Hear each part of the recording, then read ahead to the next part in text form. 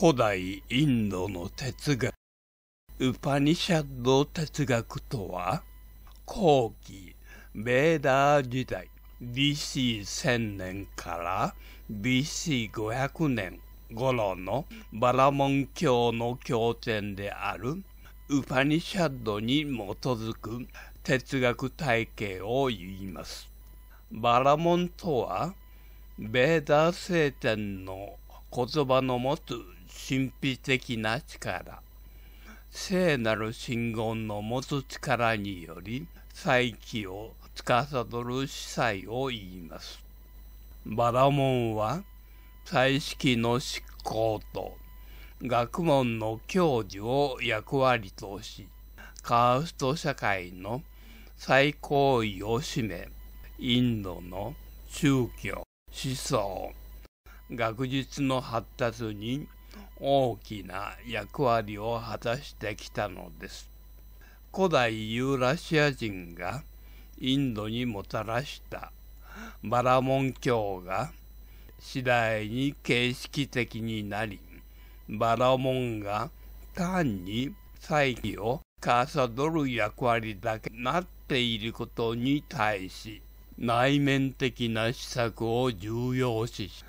真理の探求を求める方向に、ウバニシャッド哲学としてまとまっていったのです。この哲学体系は、ベーダーの本来の姿である宇宙の根源について示し、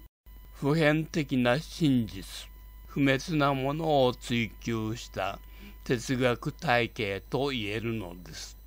宇宙物理学者としての私が当然追求すべき哲学体系だと考えています。このウパニシャッド哲学は古代インドに生まれた釈迦の施策思想の根底にあると言えるのウパニシャッド哲学によると宇宙の根源であるブラフマンボンと人間の本質であるアートマンとが究極的に同一であることを理解すること。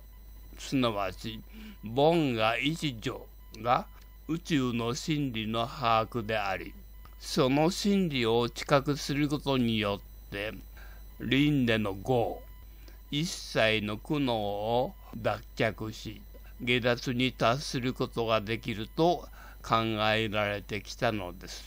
この宗教的哲学的思想は釈迦の始めたインド仏教。それを受け継いだ中国仏教。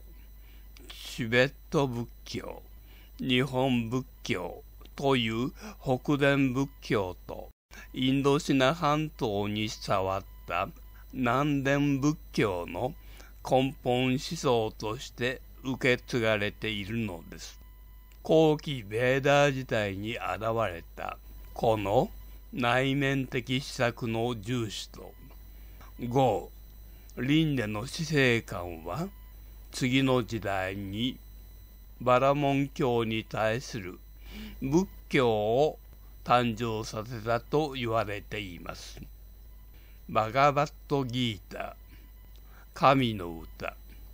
古代インドにおいてヒンドゥー教の聖典として愛称されてきた聖典で神の歌を意味します。この聖典では人間は社会における務め現世の義務を果たしつつ究極の境地に達することができると説かれているのです。バガワットギーターは陰文詩の形で書かれたヒンドゥー教の聖典の一つで長大な女子詩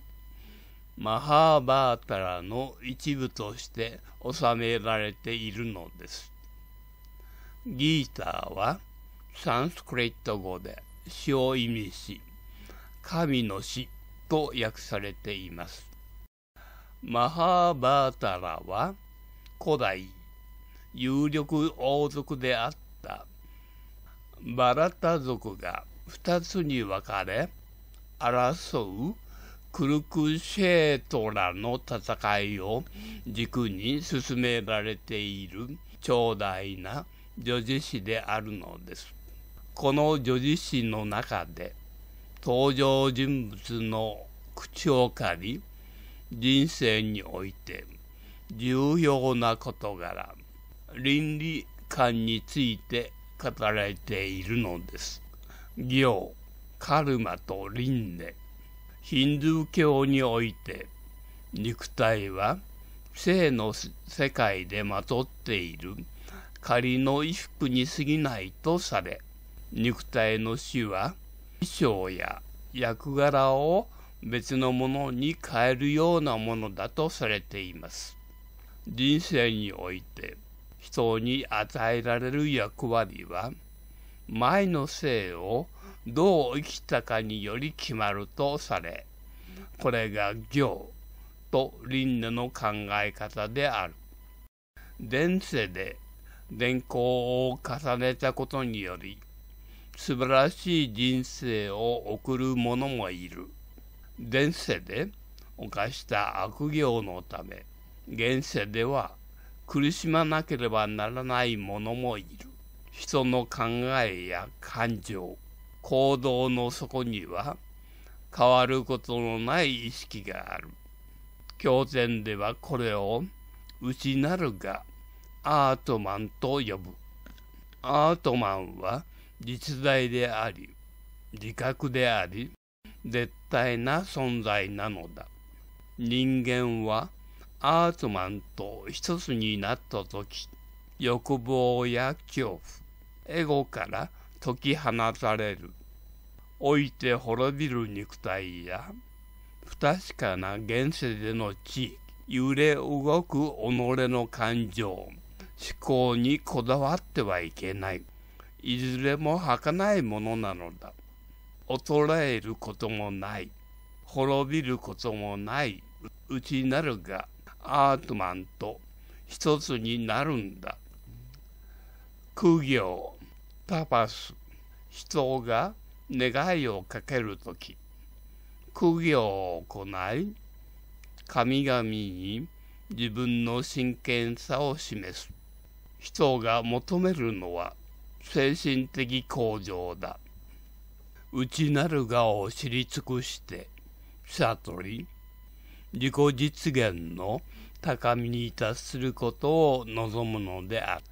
2021年12月13日 INU 研究機構学長教授久保です